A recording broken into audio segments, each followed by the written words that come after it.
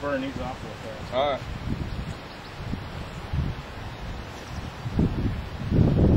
I want to shoot that sucker too, man. I want to try that one.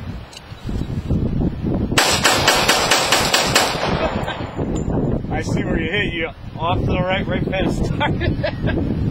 Thinking very slow.